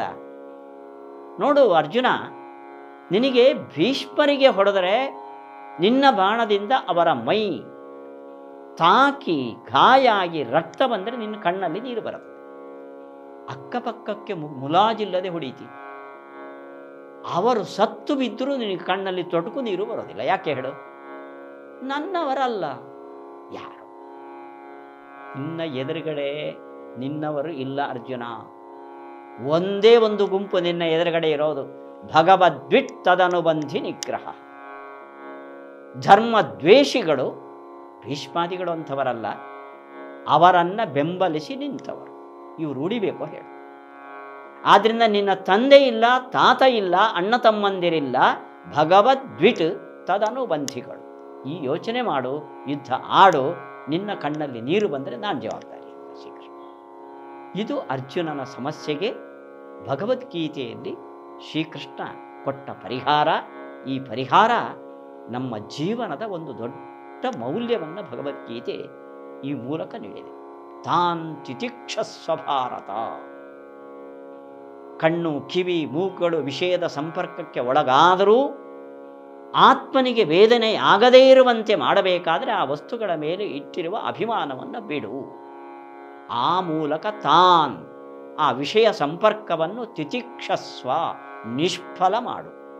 ಅದು ಯಾವತ್ತು ನಿನ್ನ ಮುಂದೆ ಕೇಕೆ ಹಾಕಿ ನಗುತ್ತದೆ ಅಂದರೆ ಆ ವಿಷಯದ ಸಂಪರ್ಕಕ್ಕೆ ನೀನು ಒಳಗಾಗಿ ದುಃಖಪಟ್ಟರೆ ಹೋ, ನಾನು ದೊಡ್ಡ ಕೆಲಸ ಮಾಡಿದೆ ಅಂತ.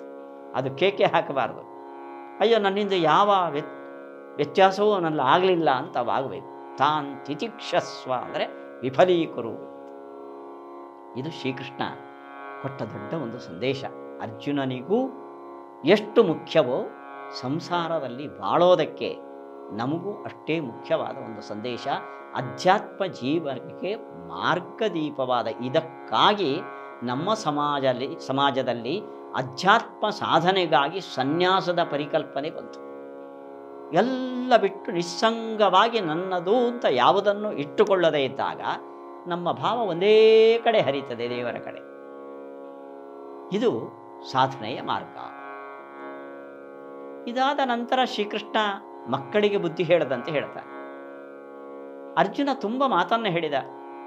ಈ ಯುದ್ಧವನ್ನು ಆಡಿದರೆ ನನಗೆ ಪಾಪಮೇವಾಶ್ರಯೇ. ಜಯ ಸಂದಿಗ್ಧ. ಯದ್ವಾ ಜಯೇಮ ಯದಿವಾನೋ ಜಯೇಯುಹು. ಯುದ್ಧದಲ್ಲಿ ನಾವು ಸೋಲ್ತೇವೋ ಗೆಲ್ತೇವೋ ಅದು ಸಂದಿಗ್ಧ. ಗೆದ್ರೂ ರುಧಿರ ಪ್ರದಿಗ್ಧಾನ್ ಅವರ ಹಿರಿಯರ ಗುರು ಹಿರಿಯರ ರಕ್ತಸಿಕ್ತವಾದ ಭೋಗಗಳನ್ನು ಉಣ್ಣೋದರಲ್ಲಿ ಯಾವ ಸುಖ ಇದೆ ಶ್ರೀಕೃಷ್ಣ? ಬಹಳ ಚಂದ ಕಾಣಿಸ್ತದೆ ನಮಗೆ ಭಗವದ್ಗೀತೆಯ ಅರ್ಜುನನ ವಾದವನ್ನು ನೋಡಿದ್ರೆ.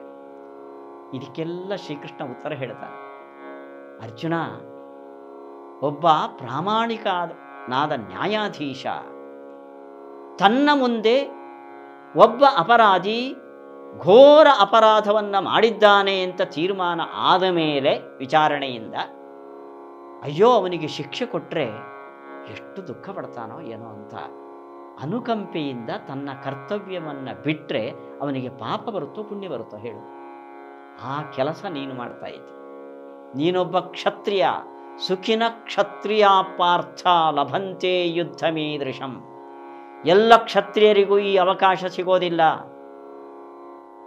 ನಮ್ಮ ಪ್ರಾಚೀನ ಪರಂಪರೆಯ ಬಗ್ಗೆ ನಾವೊಂದು ತಪ್ಪು ಕಲ್ಪನೆಯಲ್ಲಿದ್ದೇವೆ. ಯುದ್ಧ ಆಡೋದು ಕ್ಷತ್ರಿಯರ ಧರ್ಮ ಅಂತ. ಅದಕ್ಕೋಸ್ಕರ ವರ್ಷಕ್ಕೆ ಒಂದು ಸತಿ ಯಾರ ಮೇಲಾದರೂ ಏರಿ ಹೋಗೋದು ಹೊಡೆಯೋದು. ಯಾರು ಸಿಗಲಿಲ್ಲ ಅಂದರೆ ವಿಜಯದಶಮಿ ದಿವಸ ದಂಡಯಾತ್ರೆಗೆ ಹೋಗಿ ಒಂದು ಶಮಿ ವೃಕ್ಷದ ಗೆಲ್ಲನ್ನಾದರೂ ತುಂಡು ಮಾಡಿ ಬರುತ್ತೆ. ಈ ಪರಿಕಲ್ಪನೆ ಇರಲಿಲ್ಲ. ಆವತ್ತು ಅವರಿಗೆ ಕ್ಷತ್ರಿಯರು ಅಂತ ಹೆಸರು ಕಂಡವರನ್ನು ಕೊಲ್ತಾರೆ ಅಂತ ಅರ್ಥ ಅಲ್ಲ. ಕ್ಷತಾತ್ ತ್ರಾಯತೆ ಇತಿ ಕ್ಷತ್ರಿಯ. ಸಮಾಜದಲ್ಲಿ ದುಃಖಕ್ಕೆ ಒಳಗಾದವರನ್ನು ರಕ್ಷಣೆ ಮಾಡಿ ಅವರ ದುಃಖಕ್ಕೆ ಕಾರಣವನ್ನು ದೂರ ಮಾಡೋದು ಕ್ಷತ್ರಿಯನ ಕೆಲಸ. ದುರ್ಯೋಧನಾದಿಗಳಂಥ ದುರುಳರು ಇವತ್ತು ಅವರ ಕುಲದ ಒಬ್ಬ ಹೆಣ್ಣನ್ನು ತುಂಬಿದ ಸಭೆಯಲ್ಲಿ ಗುರು ಹಿರಿಯರ ಮಧ್ಯೆ ಮಾನಭಂಗ ಮಾಡಿದ್ದಾರೆ ಅಂದರೆ ನಾಡ್ದು ಅಧಿಕಾರದ ಗದ್ದುಗೆಯಲ್ಲಿ ಅವರು ನಿಶ್ಚಿಂತೆಯಿಂದ ಕೂತರೆ ಸಮಾಜದಲ್ಲಿ ಎಷ್ಟು ಹೆಣ್ಣು ಮಕ್ಕಳು ಮಾನವಂತರಾಗಿ ಜೀವಿಸಲಿಕ್ಕೆ ಸಾಧ್ಯ? ಇಂಥವರು ಉಳಿಬಾರ್ದು. ಆದ್ದರಿಂದ ಇಂಥ ಶತ್ರುಗಳನ್ನು ನಿರ್ಮೂಲನೆ ಮಾಡೋದು ನಿನಗೊಂದು ಸ್ವರ್ಗದ್ವಾರಮಪಾವೃತಂ ಜೀವನದ ಒಂದು ಚಾನ್ಸ್. ಇದನ್ನು ಬಿಡಬೇಡ. ಇದರಿಂದ ಪಾಪ ಬರೋದಲ್ಲ, ನಿನಗೆ ಪುಣ್ಯ ಬರ್ತದೆ. ಪಾಪಮೇವಾಶ್ರಯೇ ತಸ್ಮ ಇನ್ನು ಜಯ ಸಂದಿಗ್ಧ ಅಂದಿದ್ದೆ. ಎಷ್ಟು ಚಂದ ಹೇಳ್ತಾನೆ ಅಂದರೆ, ಸುಖ ದುಃಖೇ ಸಮೇ ಕೃತ್ವ ಲಾಭ ಲಾಭೌ ಜಯಾಜಯೌ ತಥೋ ಯುದ್ಧಾಯ ಯುದ್ಧಸ್ವ ನೈವಂ ಪಾಪಮವಾಪ್ಸ್ಯಸಿ. ನೀನು ಯುದ್ಧವನ್ನು ಒಂದು ದೃಷ್ಟಿಕೋನದಿಂದ ನೋಡಿದ್ದಿ ಅರ್ಜುನ. ಯುದ್ಧವನ್ನು ಮಾಡೋದು ಶತ್ರುಗಳನ್ನು ಕೊಂದು ನಾವು ಅಧಿಕಾರಕ್ಕೆ ಬರೋದಕ್ಕೆ. ಯುದ್ಧವನ್ನು ಮಾಡಿದವು, ಸೋತುವು. ಆ ಕಡೆ ಅಧಿಕಾರವೂ ಇಲ್ಲ, ಈ ಕಡೆ ಶತ್ರುಗಳನ್ನು ಕೊಂದ ಪಾಪ. ಯುದ್ಧವನ್ನು ಬರೀ ಸಿಂಹಾಸನದ ಗದ್ದುಗೆ ಏರೋದಕ್ಕೋಸ್ಕರ ಮಾಡು ಅಂತ ನಾನು ನಿನಗೆ ಹೇಳ್ತಾ ಇಲ್ಲ. ಅಥವಾ ನೀನಲ್ಲದೆ ನಿನ್ನ ಸ್ಥಾನದಲ್ಲಿ ಇನ್ಯಾರೋ ಇದ್ರೆ ಅವರನ್ನು ಕೊಲ್ಲು ಅಂತ ನಾನು ಉಪದೇಶ ಮಾಡ್ತಿರ್ಲಿಲ್ಲ. ನೀನೊಬ್ಬ ಕ್ಷತ್ರಿಯ. ನಿನ್ನ ಮುಂದೆ ಇರುವರು ಸಮಾಜ ಘಾತುಕರು, ಧರ್ಮದ್ವೇಷಿಗಳು. ಕ್ಷತ್ರಿಯರಾಗಿ ಅವರನ್ನು ಹತ್ತು ಬಸ್ತಿನಲ್ಲಿಡೋದು ನಿನ್ನ ಕರ್ತವ್ಯ. ನೀನು ಈ ಕರ್ತವ್ಯವನ್ನು ಮಾಡಿದ್ರಿಂದ ಜಯ ಸಿಗ್ತದೆ, ಪರಾಜಯ ಆಗ್ತದೆ. ಇದ್ರ ಬಗ್ಗೆ ಯೋಚನೆ ಮಾಡಬೇಡ. ನಿನ್ನನ್ನು ಗದ್ದುಗೆಗೆ ಕೂಡಿಸೋಕ್ಕೋಸ್ಕರ ಈ ಯುದ್ಧದಲ್ಲಿ ನಾನು ಪ್ರೇರಿಸ್ತಾ ಇಲ್ಲ. ಸಮಾಜ ಒಂದು ಪಾಠ ಕಲಿಬೇಕು. ದುರ್ಯೋಧನನಂಥ ಕೆಲಸವನ್ನು ಮಾಡಿದವರಿಗೆ ಈ ಸಮಾಜದಲ್ಲಿ ಉಡಿಗಾಲ ಇಲ್ಲ. ಭಗವಂತ ತಾನಾಗಿ ಅಥವಾ ತನ್ನವರ ಮೂಲಕ ಅವರಿಗೆ ಶಿಕ್ಷೆಯನ್ನು ನೀಡುತ್ತಾನೆ ಅನ್ನೋದು ಸಮಾಜ ಕಲಿಬೇಕು ಅದಕ್ಕೋಸ್ಕರ ನಿನ್ನ ಕರ್ತವ್ಯಕ್ಕೋಸ್ಕರ ನಾನು ಯುದ್ಧವನ್ನು ಮಾಡು ಅಂತ ಹೇಳ್ತಾ ಇದ್ದೇನೆ ಹೊರತು ನೀನು ಗದ್ದುಗೆಗೆ ಏರಿ ಸಿಂಹಾಸನ ಏರಬೇಕು, ನಿನ್ನ ಜೊತೆಯಲ್ಲಿ ನಾನು ರಾಜನ ಸ್ನೇಹಿತ ಈ ಸ್ವಾರ್ಥಕ್ಕೋಸ್ಕರ ನಾನು ಯುದ್ಧವನ್ನು ಮಾಡು ಅಂತ ಹೇಳ್ತಾ ಇಲ್ಲ. ಆದ್ರಿಂದ ನೀನೇನು ಮಾಡಬೇಕು ಅಂದರೆ ಸುಖ, ದುಃಖೇ ಸಮೀಕೃತ್ವ. ನಿನ್ನ ಎದುರುಗಡೆ ಬಾಂಧವರಿದ್ದಾರೆ ಅವರು ನಿನ್ನ ಎದುರುಗಡೆನೇ ನಿನ್ನ ಬಾಣದಿಂದ ಚುತ್ತಿ ದೇಹಾಂತವಾದರೆ ದುಃಖ ಆಯಿತು ಅಂತ ಅಡಬೇಡ ಯುದ್ಧದಲ್ಲಿ ಅವರನ್ನೆಲ್ಲ ಮುಗಿಸಿ ನೀನು ಗೆದ್ದೆ ಗೆದ್ದೆ ಅಂತ ಕುಣಿಬೇಡ. ನಿನ್ನ ಸುಖ ದುಃಖಗಳು ನಿನ್ನ ಸ್ವಾರ್ಥ. ಈ ಯುದ್ಧದಿಂದ ದುಃಖ ಆಯಿತೋ, ಸುಖವಾಯಿತೋ, ಅದು ಸೈಡ್ ಪ್ರಾಡಕ್ಟ್ ಅದು. ಅದು ಮುಖ್ಯವಾದ ಫಲ ಅಲ್ಲ.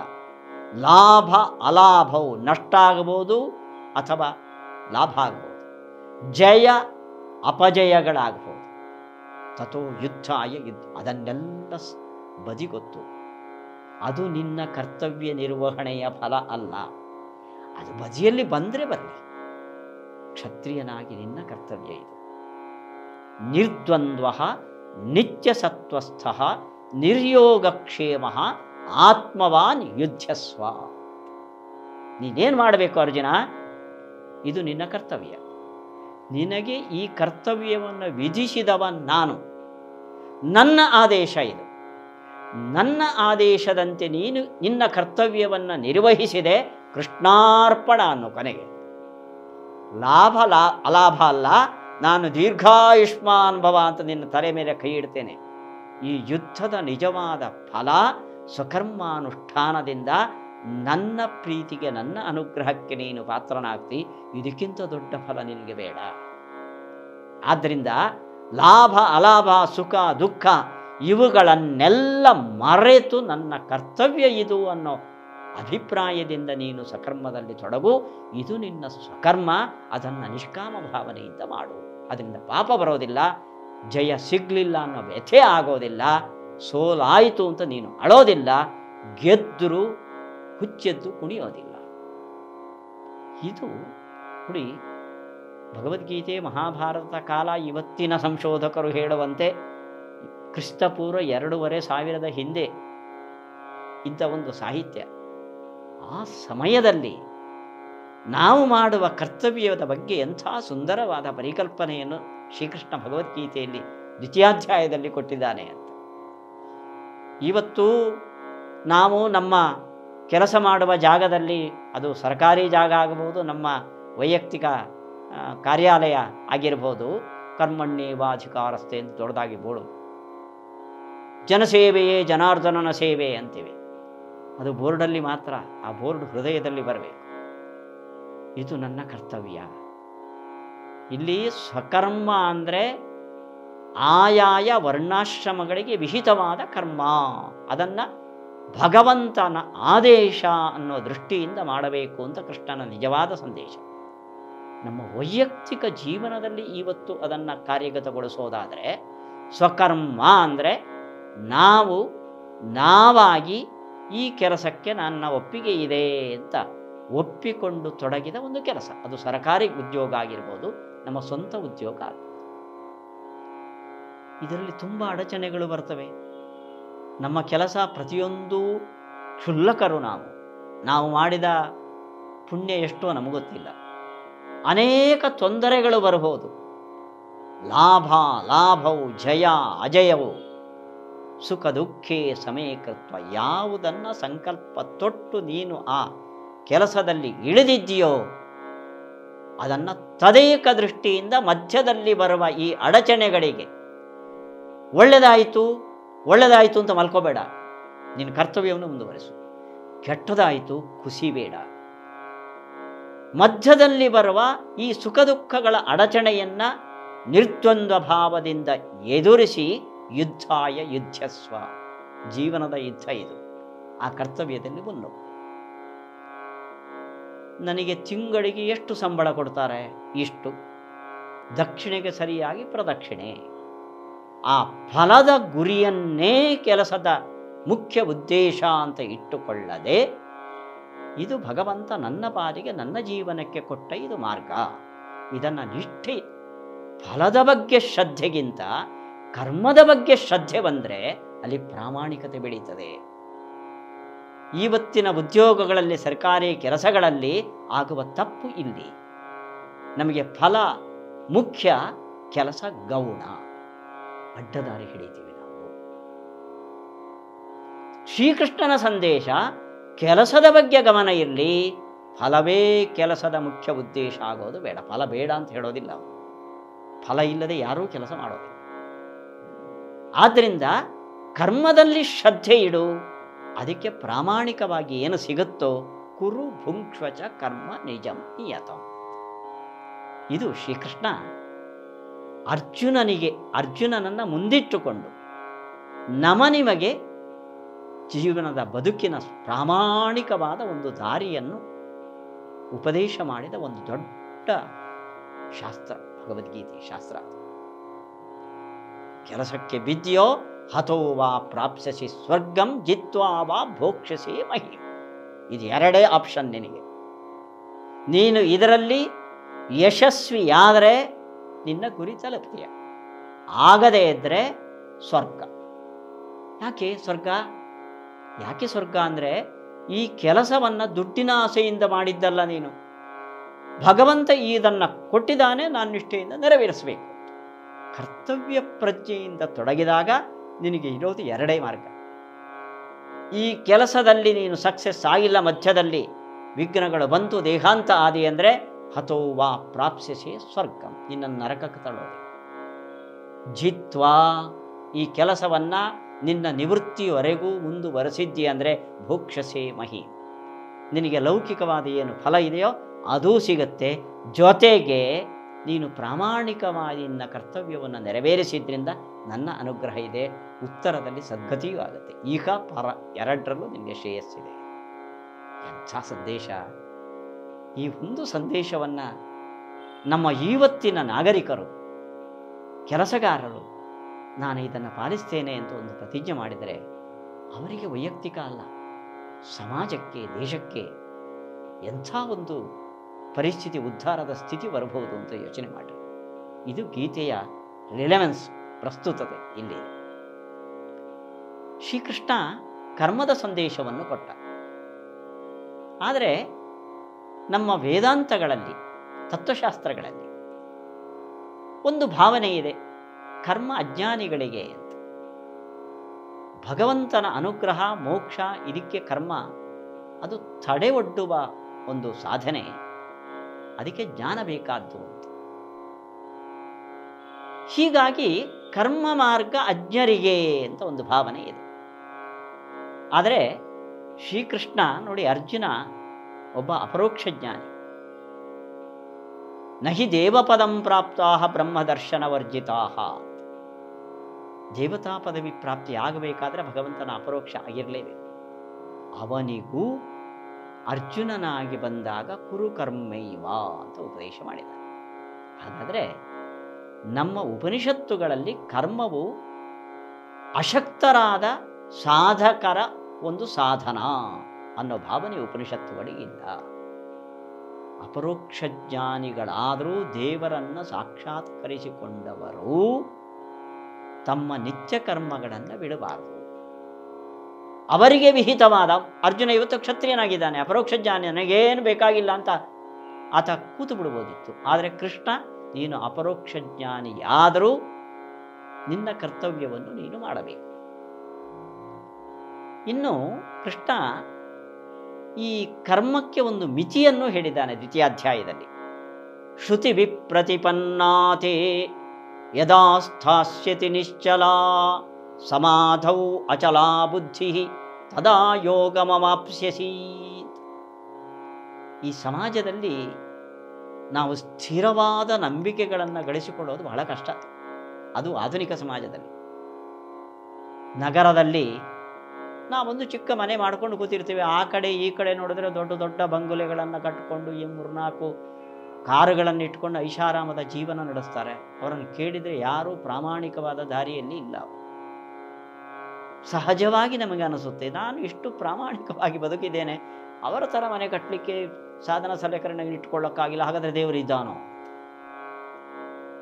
ಹೀಗಾಗಿ ವ್ಯವಸಾಯಾತ್ಮಕವಾದ ಬುದ್ಧಿ ಅಂದರೆ ಇದಮಿತ್ತಂ ಅಂತ ಒಂದು ನಿರ್ಧಾರವನ್ನು ಇಟ್ಟುಕೊಂಡು ಇವತ್ತು ಕರ್ಮವನ್ನು ಮಾಡೋದು ಇವತ್ತಿನ ವಾತಾವರಣದಲ್ಲಿ ನಮಗೆ ಬಹಳ ತೊಂದರೆ ಕೊಡುತ್ತದೆ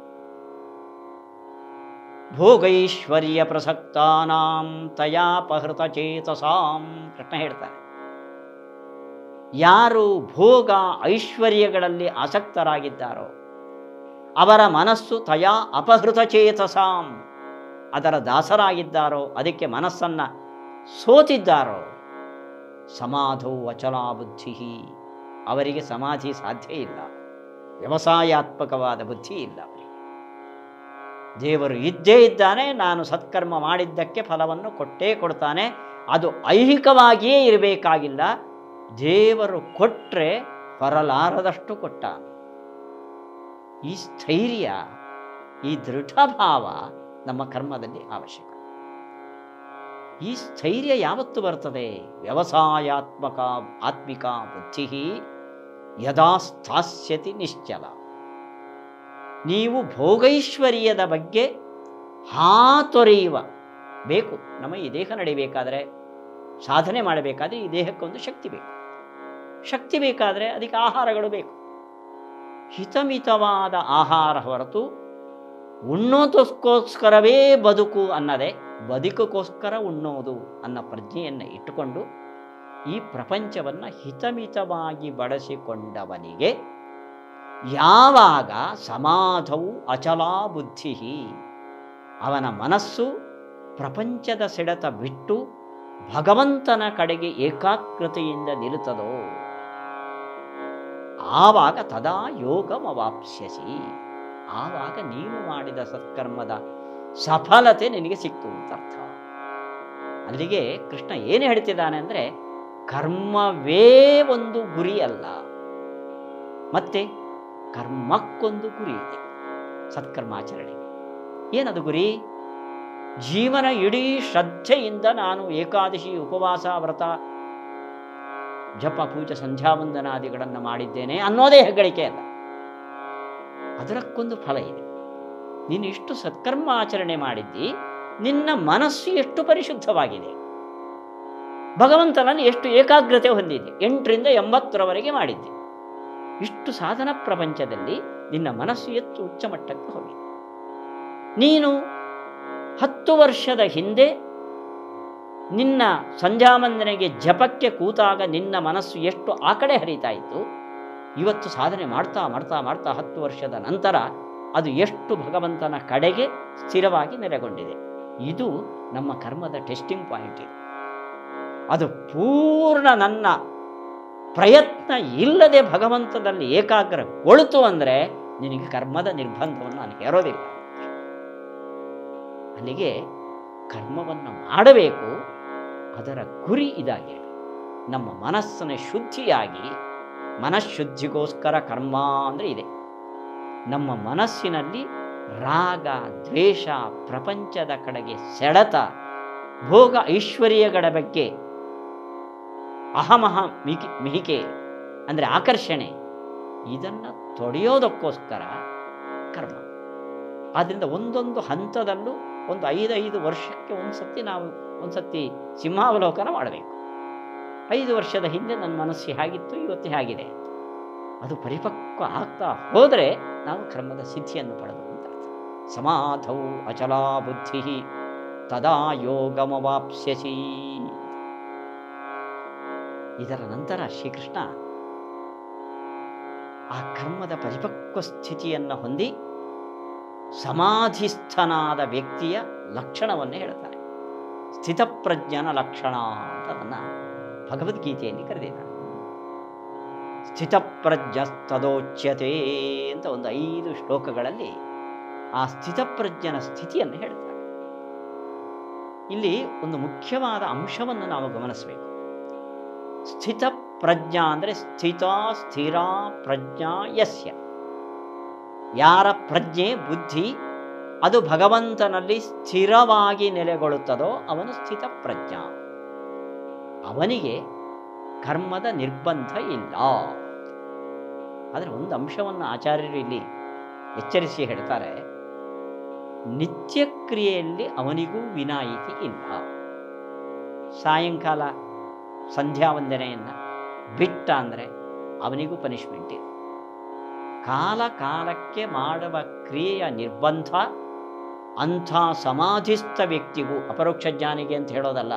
ಸಮಾಧಿಸ್ಥ ವ್ಯಕ್ತಿಗೂ ಅನಿವಾರ್ಯ.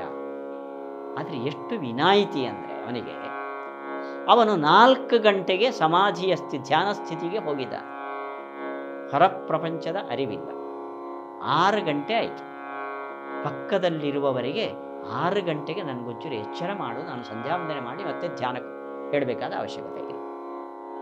ಅವನು ಸಂಧ್ಯಾಕಾಲದಲ್ಲೂ ಆ ಧ್ಯಾನ ಸ್ಥಿತಿಯನ್ನು ಮುಂದುವರಿಸುವುದು ಆದ್ದರಿಂದ ಧ್ಯಾನಿಗೆ ಕಾ ನಿತ್ಯ ಕರ್ಮದ ನಿರ್ಬಂಧ ಇದೆ, ಆದರೆ ಕಾಲದ ಮಿತಿ ಇಲ್ಲ. ಈ ಸಮಾಧಿಸ್ಥನಾದವನಿಗೆ ಅವನ ಸ್ಥಿತಿಯನ್ನು ಹೇಳಿದ್ದಾನೆ ಶ್ರೀಕೃಷ್ಣ. ಅವನಿಗೆ ಸುಖ, ದುಃಖ, ತನ್ನದು, ಮತ್ತೊಬ್ಬರದು ಅನ್ನೋ ಯಾವ ಪ್ರಪಂಚದ ಯಾವ ವಸ್ತುಗಳ ಬಗ್ಗೆಯೂ ನಂಟಿಲ್ಲದೆ ಅವನು ಸುಖಕ್ಕೆ ಉದ್ರೇಕಗೊಳ್ಳದೆ, ದುಃಖ ಬಂದಾಗ ಕುಸಿಯದೆ ಸಮಸ್ಥಿತಿಯಲ್ಲಿ ಇರ್ತಾನೆ. ಆದ್ದರಿಂದ ಯಾವ ಪ್ರಾಪಂಚಿಕ ಏರುಪೇರುಗಳಿಗೂ ಸಮಸ್ಥಿತಿಯನ್ನು ಕಳೆದುಕೊಳ್ಳದ ನಿತ್ಯಕರ್ಮದ ಕಾಲ ನಿರ್ಬಂಧವನ್ನು ಬಿಟ್ಟ ವ್ಯಕ್ತಿ ಅವನು ಸ್ಥಿತಪ್ರಜ್ಞ ಅಂತ ಒಟ್ಟು ಐದು ಶ್ಲೋಕಗಳ ಮುಖ್ಯವಾದ ಭಾವ ನೋಡಿ, ಇದರಿಂದ ಆಚಾರ್ಯ ಹೇಳ್ತಾರೆ, ಸ್ಥಿತಪ್ರಜ್ಞರಲ್ಲದವರಿಗೆ ಕಾಲದ ಮಿತಿ ಇದೆ, ನಿರ್ಬಂಧ ಇದೆ. ಅಷ್ಟೇ ಅಲ್ಲ, ಇನ್ನೊಂದು ಮುಖ್ಯವಾದ ಸಂದೇಶವನ್ನು ಭಗವದ್ಗೀತೆಯಲ್ಲಿ ಆಚಾರ್ಯರು ಕೊಟ್ಟಿದ್ದಾರೆ. ನಾನಾ ಜನಸ್ಯ ಶುಶ್ರೂಷ.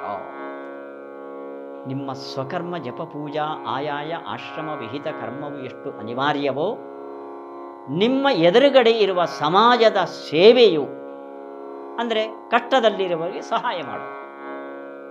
ನಾನು ದೇವರ ಬಳಿ ಇರುವವನು ದೇವರ ಕೋಣೆ ಆಯಿತು, ನಾನಾಯಿತು, ಅವನ ಹತ್ರ ನನಗೇನು ಅಂತ ಕೂತರೆ ಭಗವಂತ ತೃಪ್ತನಾಗ ನಿಮ್ಮ ಕರ್ತವ್ಯ.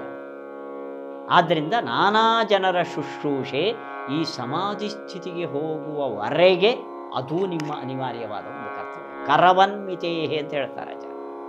ಅದು ಸರಕಾರಕ್ಕೆ ಕೊಡುವ ಕಪ್ಪದಂತೆ ಅದರ ಜೊತೆಯಲ್ಲಿ ನಿಮ್ಮ ನಿತ್ಯ ಕರ್ಮವನ್ನು ಅಳವಡಿಸಿಕೊಳ್ಳಿ. ಆದರೆ ಆ ಸಮಾಧಿಸ್ಥನಾದವ ಸ್ಥಿತಪ್ರಜ್ಞ ಯಾರಿದ್ದಾನೋ ಅವನಿಗೆ ಈ ಸಮಾಜದ ಕರ್ತವ್ಯದ ನಿರ್ಬಂಧ ಇಲ್ಲ. ಮಾಡಬೇಕಾದ ಅಗತ್ಯ ಇಲ್ಲ ಮತ್ತು ನಿತ್ಯ ಕರ್ಮಗಳನ್ನು ಕಾಲದ ಮಿತಿ ಇಲ್ಲ ಮಾಡಬೇಕು. ಇದು ಶ್ರೀಮದ್ ಆಚಾರ್ಯರ ಭಗವದ್ಗೀತೆಯ ಮೂಲಕ ನಮಗೆ ಕೊಟ್ಟ ಒಂದು ಎಚ್ಚರ. ಹೀಗೆ ದ್ವಿತೀಯಾಧ್ಯಾಯ, ಅದು ಅರ್ಜುನನಿಗೆ ತತ್ಕಾಲದಲ್ಲಿ ಸಂಬಂಧಪಟ್ಟಿರಬಹುದು. ಇಡೀ ನಮ್ಮ ಸಮಾಜಕ್ಕೆ ಶ್ರೀಕೃಷ್ಣ ಕೊಟ್ಟ ಒಂದು ದಿವ್ಯ ಸಂದೇಶ. ನಾವು ನಮ್ಮ ಕರ್ತವ್ಯವನ್ನು ಬಿಟ್ಟು ಯಾವುದೇ ಒಂದು ಸಂದರ್ಭದಲ್ಲಿ ಕುಸಿತಕ್ಕೆ ಒಳಗಾಗಿ ಗ್ಲಾನಿಯ ಸ್ಥಿತಿಯಲ್ಲಿ ಏನು ಮಾಡಬೇಕು ಅಂತ ತೋಚದ ಸ್ಥಿತಿ ಬಂದಾಗ ಹತೋವಾ ಪ್ರಾಪ್ಸ್ಯಸಿ ಸ್ವರ್ಗಂ ಜಿತ್ವಾ ವಾ ಭೋಕ್ಷಸೆ ಮಹೀಂ ತಸ್ಮಾತ್ ಯುದ್ಧಸ್ಸ ಭಾರತ ಅನ್ನೋ ಶ್ರೀಕೃಷ್ಣನ ಮಾತನ್ನು ನೆನೆಸ್ಕೊಳ್ಬೇಕು. ಮೈಯಲ್ಲಿ ರೋಮಾಂಚವಾಗಿ ಎದ್ನಿರಬೇಕು ಇದು ಶ್ರೀಕೃಷ್ಣ ಕರ್ಮ ಸಂದೇಶವನ್ನು ಭಗವದ್ಗೀತೆಯ ದ್ವಿತೀಯಾಧ್ಯಾಯದಲ್ಲಿ ಅದ್ಭುತವಾಗಿ ಕೊಟ್ಟಿದ್ದಾನೆ. ಇದು ನಮ್ಮ ರಕ್ತಗತವಾದ ಸಂದೇಶ ಆಗಿದೆ. ಆಗ ಗೀತೆಯ ನಾಡಿನವರು ನಾವು ಅಂತ ಹೇಳಿಕೊಳ್ಳುವ ಅರ್ಹತೆ ನಮಗೆ ಬರ್ತದೆ. ಬರೇ ಗೀತೆಯ ಒಂದು ಅಧ್ಯಾಯದ ಒಂದು ಶ್ಲೋಕ ನೋಡಿಕೊಂಡು ಕೃಷ್ಣ ಸಮಾಜಮುಖಿ ಅಲ್ಲ ಅಂತ ಕೊಟ್ಟರೆ ಅದು ನಮ್ಮ ದೌರ್ಭಾಗ್ಯ ಹೊರತು ಭಗವದ್ಗೀತೆಗೆ ಅದರಿಂದ ಯಾವ ಸೋಂಕು ಇಲ್ಲ. ಈ ದಿವ್ಯವಾದ ಸಂದೇಶವನ್ನು ನೀಡುವ ಭಗವದ್ಗೀತೆ ಇವತ್ತಿನ ಕಾಲಕ್ಕೆ ಲಂಚ ಋಷಿವತ್ತು ಅಕ್ರಮ, ಅವ್ಯವಹಾರ ಎಲ್ಲಿ ನೋಡಿದ್ರೂ ತಂಡವವಾಡುವ ಇವತ್ತಿನ ಸಾಮಾಜಿಕ ಸ್ಥಿತಿಗೆ ತೀರಾ ಅನಿವಾರ್ಯ ಅಂತ ಹೇಳ್ತಾ ಭಗವಂತನೇ ನಮಗೆ ಆ ಭಗವದ್ಗೀತೆಯ ಮಾರ್ಗದಲ್ಲಿ ನಡೆಯುವ ಭಾಗ್ಯವನ್ನು ಕೊಡಲಿ ಅಂತ ಪ್ರಾರ್ಥನೆ ಮಾಡ್ತಾ ನಾನು ದ್ವಿತೀಯಾಧ್ಯಾಯವನ್ನು ಮುಗಿಸ್ತಾ ಇದ್ದೇನೆ. ಯತ್ರ ಯೋಗೇಶ್ವರ ಕೃಷ್ಣೋ, ಯತ್ರ ಪಾರ್ಥೋ ಧನುರ್ಧರ, ತತ್ರ ಶ್ರೀ ವಿಜಯೋಭೂತಿ ಧ್ರುವ ನೀತಿರ್ಮತಿರ್ಮಮ ಶ್ರೀಕೃಷ್ಣ